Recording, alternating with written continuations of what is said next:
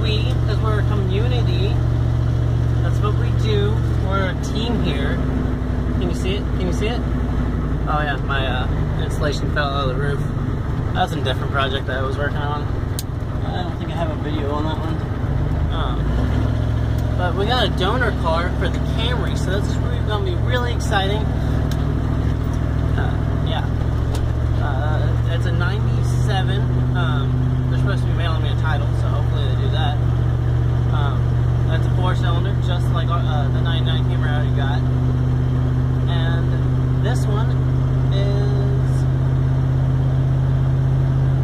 Exhaust, so that's a bonus.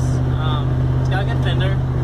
It does not have a good bumper, though, so that's noteworthy. Um, the.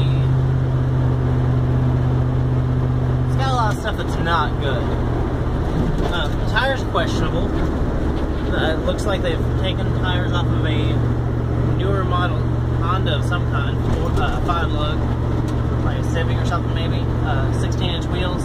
But it looks like the wheels, the tire pressure sensors are in the wheels, so I don't know if those are sellable or not.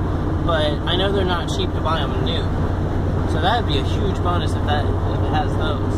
Um, the car was cheap, hopefully, obviously, right? Um, it has a really bad rod knock. It almost didn't even have enough power to pull itself up